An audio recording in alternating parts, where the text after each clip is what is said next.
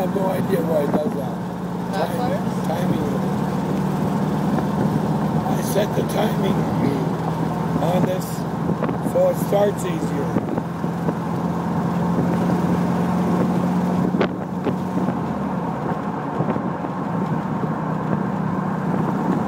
Okay, so I know some of you have been waiting for this, but uh, we're at uh, place where the trike's being done, and uh, it's not really near finished yet, but uh, it's got quite a bit done anyways. They still have to uh, test out all the realignments of the pedals and uh, take it for a little drive to make sure everything's working properly, but yeah. And then they're gonna get it ready for paint. I'm hoping that I can get a video then and then also after it's painted. So about two to three more videos I'm hoping to have on this. Um, yeah, no, we also came here in the Volkswagen thing. Uh, I'll put in a little clips of my drive down here anyways. I got to drive it too. I'm not very good at standard on the road, but put me in my dune buggy out in the bush and I'll tear that shit up. But anyways, um, yeah, stay tuned for the uh, 360 tour of the trike and uh, I'll also add a slideshow of the pictures that I took around it just so you have time to look at everything that's been done. Alright, well, ciao for now.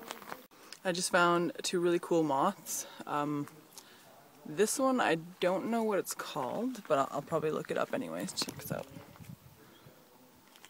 It's pretty cool looking, and he's a decent size. If you look at uh, my hand. I get a closer look at his face. Yeah, no. And the second one, I know what this one is. They're very, they're common. Uh, is a Luna moth right here. And this one, is about that big. And he's so cute. Look at his little antennae.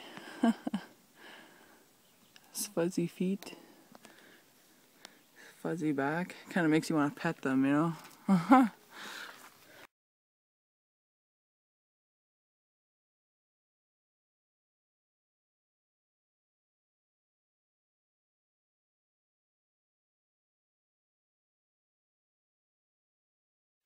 So yeah, these moths are pretty sweet and pretty big anyways. I love them.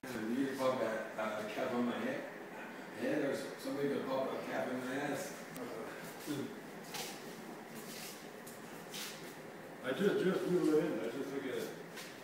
I wanted to get the, uh, I got your paint this morning.